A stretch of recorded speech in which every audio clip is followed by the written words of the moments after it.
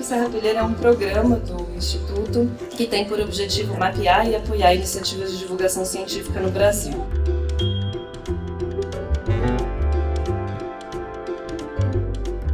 When you're trying to empower children and underserved groups and people to see the value of science, you cannot do it as a single person or a single organization.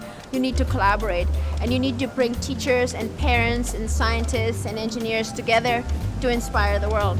We want to give people the courage to know that that's what science is. It's asking questions, it's chasing your curiosity.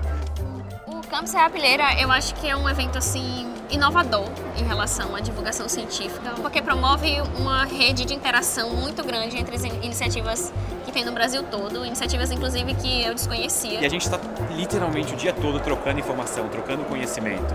Isso é uma coisa que a gente não faz em outro lugar, é só aqui mesmo. Na ciência é achar as pessoas incríveis e na divulgação científica também, as pessoas que por algum motivo se ligaram com uma linguagem nova, um método diferente, são pessoas que passam um recado importante. A gente tem muitos cientistas dentro do laboratório, mas tem pouca gente sabendo divulgar a ciência. Bom, eu vou apresentar agora o Computação Sem Caô para mais de 40 cientistas sobre novas formas de divulgação de ciência, sobre novos assuntos da ciência, porque eu sou da ciência da computação, então para mim está sendo uma oportunidade incrível.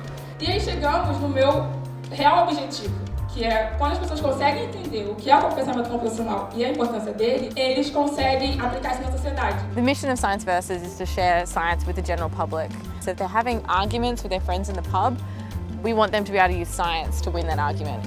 How to have structured curiosity, a little bit like a scientist. It's really inspiring to us to think that people can use this concept to reach more people in the places where they already are, to break down the barriers to engaging with information in a social and, you know, fun and inviting way. Not only are we making a more democratic way of putting museums out into the world, but also creating a more democratic way of creating the information. Eu nunca tinha parado para pensar em como um museu pode ser fácil e simples. Essa apresentação do micromuseu para mim foi excepcional. Eu estou saindo daqui com inúmeras ideias, inclusive talvez até um micromuseu itinerante para as escolas públicas do estado do Rio de Janeiro. When we're engaging students, it really isn't about purveying knowledge to them, but rather building experiences for them to learn the knowledge with us or together. Quanto mais pessoas diferentes pensarem na resolução do mesmo problema, mais soluções criativas nós vamos ter.